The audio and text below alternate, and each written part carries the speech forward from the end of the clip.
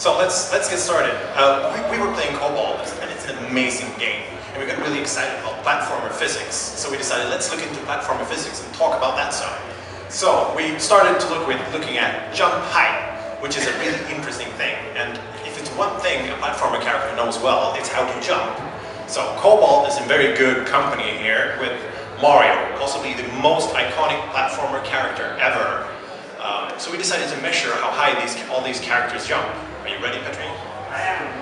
Um, so starting with Mario, um, he can jump over obstacles about four times his own height from complete standstill, just jumping straight up into the air and over things four times higher than him. Cobalt doesn't jump quite as high. He only managed to do 1.8 of his own height.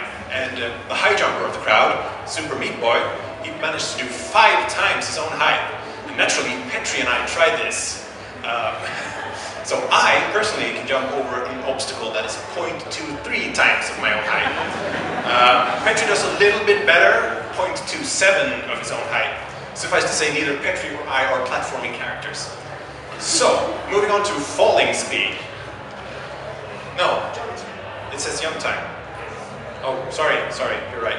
Uh, when you run, jump really, really high, falling down is going to take a long time too. So say I, could jump over an obstacle like Mario, something four times my own height, I'm about two meters tall, so that would be eight meters of falling. So, to figure out the time it takes for me to fall these eight meters, we need to know the gravitational acceleration constant of the Earth, which happens to be 9.8 meters per second squared here on Earth. Uh, so doing some magical math, we can figure out that it would take me 1.3 seconds to fall these eight meters. But I also have to go up before I can come down.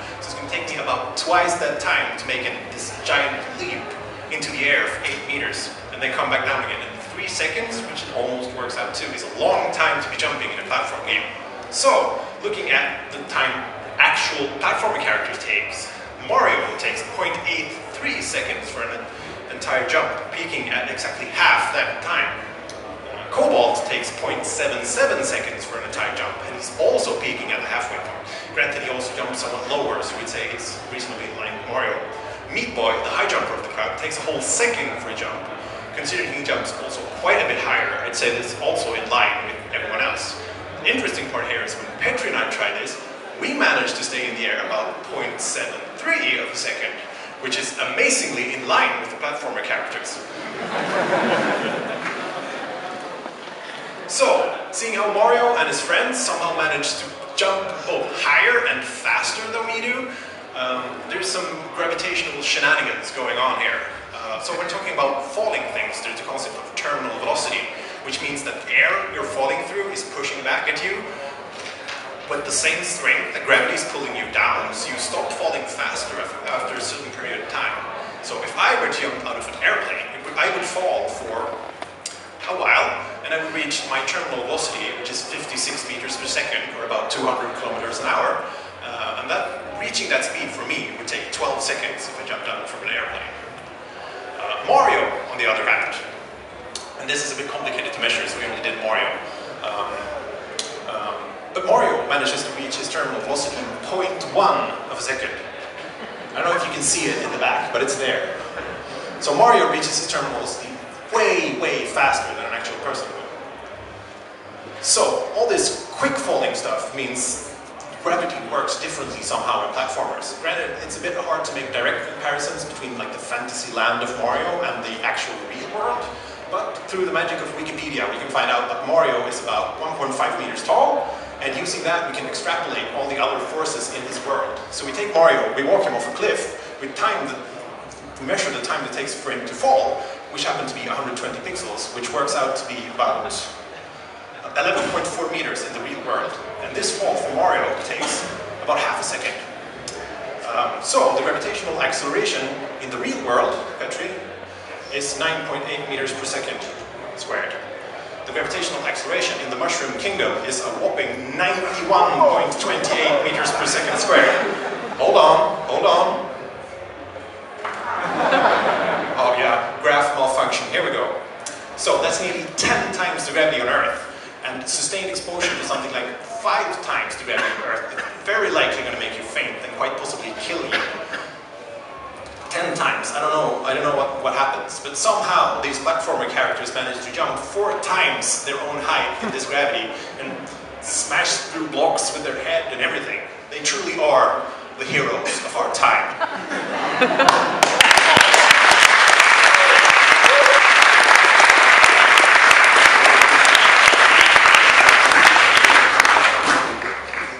So uh, actually in order to do this presentation we ended up doing a lot of research. We actually spent three days measuring all the different platforming games and trying to figure out why the controls are so different. And uh, we got about an hour long presentation about this subject. Uh, but uh, like if we agree that you guys go and vote for Jesus versus dinosaurs, I can kind of compress this into five minutes. So basically what we found out is that controls in platformer games vary a lot. Uh, you basically have, the lowest jump we could find was uh, from another world, which was 0.06 of the character's height, which is basically just a leap. Uh, the next lowest is Braid, which is like one times its own height. Uh, Spelunky is about two times the character's height. Uh, Super Meat Boy is about five times his height, and uh, Super Mario Brothers uh, running jump is 5.3 times the height. There's also a variation in the time it takes to do the jump. Uh, Spelunky being 550 milliseconds, Super Meat Boy being 1 second and 50 milliseconds. Uh, 770 milliseconds was actually what it took for Cobalt and uh, Braid and a few other games. So 770 milliseconds is is the thing if you're making a platformer game. So uh, all this, like why, why are the controls so different in platforming games? Because we've had a lot of platforming games, surely we know how to do platforming controls, uh, but there is a reason why, why these are so different. And the reason is basically game design. Uh, it depends on what kind of a game you're making, uh, defines what kind of controls you need to do for your game. Uh, for example, imagine playing another world with Super Meat Boy. Uh, you could just basically jump over those motherfucking worms. Uh, or playing Super Meat Boy with the Limbo character. That would not go well. Uh, but this, this small detour, uh, detour we, there's this design tool by Jeff Tunnell and the idea of this design tool is that you concentrate on one aspect of your game. Uh, you take one thing and you concentrate on that and you do basically everything in the game in relation to this one thing. Uh, and this explains why the controls are so different in games. So let's look at Mario, for example, here. Uh, Mario is a game about jumping. Uh, everything in Super Mario Bros. 1 is about jumping. Uh, jumping is the thing in that game. So if you look at the things you can accomplish in that game with jumping, uh, first of all, you move around the world with jumping. Uh, you can also jump over pits in Mario. Uh, you can jump over obstacles. Uh, you jump onto enemies to kill them, as opposed to shooting them. Uh, you can jump onto turtle shells to launch the turtle shells. You can jump onto turtle shells to stop the turtle shells. You can jump on to collect coins. You can jump up to get power-ups. Uh, you jump to break bricks. Uh, you jump to break bricks and kill enemies that are on top of the bricks. Uh, you jump to get the question mark boxes. Uh, you jump and you kill the boss character in the game and you actually avoid his fireballs by jumping. So there's a lot of things in the game that are actually really related to jumping. And this explains quite a lot of the controls of Mario. So there are people who are asking why uh, Mario can jump five times his height. Well, it's basically because the, the, game is about jumping, and you need a lot of control for your jumps. Uh, that's also the reason why Mario has air control. Uh, in Donkey Kong, Mario didn't have air control, so when you press the button, it actually did the jump and you couldn't do anything about it. In Mario, you can move around when you're coming down. This also explains why the terminal velocity of Mario is so low, because he's kind of floating down, it gives you a lot of control to hit other things and go other places. This also explains why Mario is a boxy character. Uh, if he would be thin, uh, he would have what, much less of a space to hit things with.